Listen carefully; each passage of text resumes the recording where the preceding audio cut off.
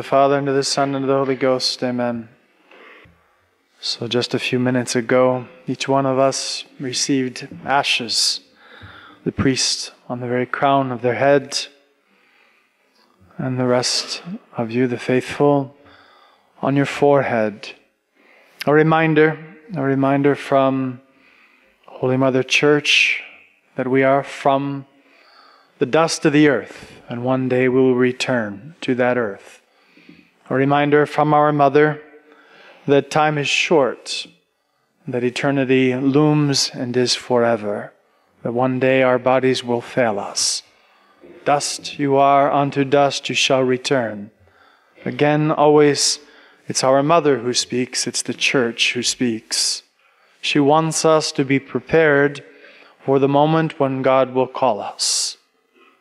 And that's why she gives us this period of Lent. It's a great blessing, a great gift from God, a great gift from the church.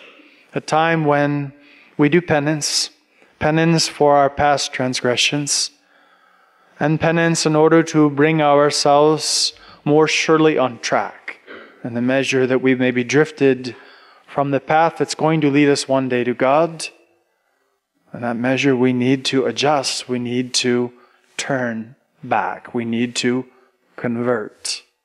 And all of us are meant to ask ourselves as we start Lent with this recollection what we need to do, what we personally, what I personally need to do in order to be more surely on track to God. The church, however, recommends us three principal things to work on during the time of Lent. Firstly, prayer. Lent is a time of special prayer. It's not a time of multiplying prayers. It's a time for really praying, really lifting our mind and our heart to God. Our mind, our thoughts, to turn our thoughts to our God who is so good and who is so great and on whom we depend at every moment but our heart, to lift our hearts in the sense of offering, offering ourselves, accepting what He asks of us, accepting the crosses that are there, the sorrows that are there, and offering ourselves. So, our prayer, where we, we make this effort to elevate our mind, our heart, our soul to God, that is meant to have consequences. That is meant to carry over then into our practical efforts during this time of Lent. And so the church recommends two particular things. Firstly, fasting. The secondly, almsgiving. Now, fasting, when we think of that, of course, we think of the standard fast, which is no longer strictly obligatory. Today it is, Ash Wednesday. Good Friday it is, if you are of age. But other than that, it's not obligatory anymore. The, the rather strict fast that the church always encouraged her faithful, her children, to do during Lent. Well, it's no longer strictly obligatory, and yet we must keep the spirit of the fast. And for that, we must understand what it means to fast. It's a question of mortifying our appetites for pleasure, for what is pleasant. Well, it's not just a question of food, although it's the most obvious place to start. Uh, we can, we can maybe not do the strict fast, but we can eat less at every meal. We can skip snacks. We can give up the foods that we find most pleasurable to us. It doesn't have to be sweets. For one, it might be whiskey for an adult. Uh, for another, it might be, you know, cream cheese. I don't know. Uh, it's, it's a question of mortifying our appetites. So for food, mortifying the appetite for pleasure, but the rest of the body demands its due too. Uh, so we can mortify our tendency to seek what is pleasant and soft, whether it be our favorite pillow, or whether it be an easy armchair, or whether it be the warmest sweater that we have. Uh, we mortify our body the body's desire for comfort. But we can go further than that. And here's where maybe I would encourage you to look especially. We can mortify our appetite for fun, just the pleasure of fun. Fun is not a bad thing. Fun has its place. It's even important at times, for sure.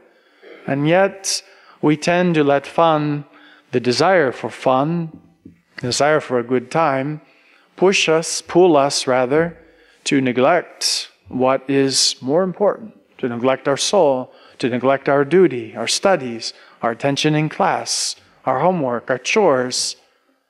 And there maybe is where we look.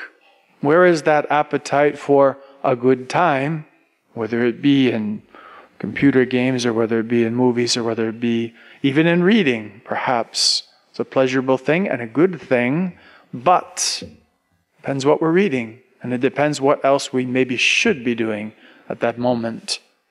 So we we mortify this appetite for pleasure, for what is pleasant to us. We can go further. For example, the, the desire to hear the latest, the desire to be constantly in touch. Right? A perfect time to give up the cell phone, to give up talking on the phone, to give up texting, to give up computer if you're using the computer for any recreational purpose, right? to mortify that desire for validation and attention and to be the center of someone else's life. All of these are examples, and only examples. And yet, that's where the church points us. She says, fast, mortify your appetite for pleasure, to attain a greater mastery over yourself, so that you can be more faithful to your God. She also encourages us to give alms. Immediately we think of giving money to the poor. Well, I'm sure most of you don't have a ton of that. Right? So let's not look there necessarily, although the church has always insisted that we give of what we have to help those who have less. And all of us here have a lot more than we think we do when it comes to material things. In our clothes, in our toys, in our food, in, in, and in our spending money. Uh, and there's a good area to look. Right? Can you give something away? Can you give it to someone who has less? It's a way of giving alms. It's not strictly to someone who's on the street with no home, and yet at the same time, it is detaching yourself from the material things of this world that pull us, hold us so strongly at times. And yet, I think, again, here, although that's more the literal sense of almsgiving, I think maybe we can go to a broader sense and obtain more during this time of Lent, give more during this time of Lent. Giving alms really means being merciful. And we aren't just merciful or meant to be merciful when it comes to material things. We're meant to be merciful in the spiritual things. We're meant to be merciful to those around us, to those around us who have weaknesses, faults, and failures, to those around us who are struggling, maybe struggling academically, maybe struggling on the ball field, who knows, maybe struggling to fit in. We show mercy. We show mercy to those around us in their struggles. We show compassion to them. This is what it means to give alms in the broader sense. And all of us have many, many opportunities here where we can make an effort. And by that effort, grow in forgetfulness of self and grow in consideration and attention for the souls around us that we are meant to help go to God. So these are the three areas that Holy Mother Church encourages us to look during this time of Lent prayer, fasting, mortifying our appetite for pleasure, and almsgiving, being merciful. A serious task that we have before us to save our soul in this short time that we have. A task that we don't take seriously enough, perhaps. In fact, we can probably say that none of us take it maybe quite seriously enough, at least at times. Holy Mother Church knows human nature. And so she says, All right, so that's the way we are. We're human beings.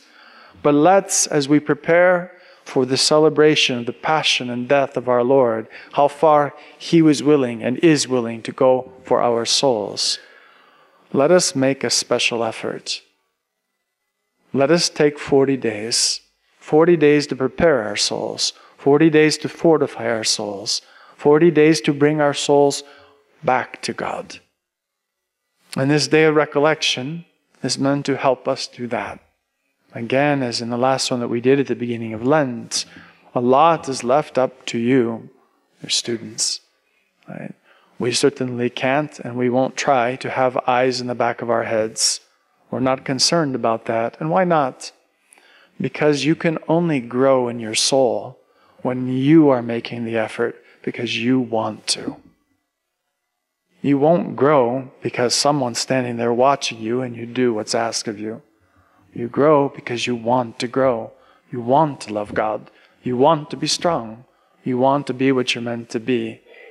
And so these recollections and the retreats, likewise, that we, we are starting to do more of, a lot is left to your effort because that's where you'll grow. And of course, we do know that you do want those things, even though you're human beings like we are, right? and therefore fall short at times like we do. Right? So let's take advantage of this, of this day of recollection. Let's be determined to, if you haven't yet decided what you want to do for your Lenten resolutions, let's be sure before the end of today to have chosen what you're going to work on during this time of Lent as a gesture towards God, that you love Him, you want to be strong for Him, and as a gesture of reparation and remorse for the sins of the past. In the name of the Father, and of the Son, and of the Holy Ghost, amen.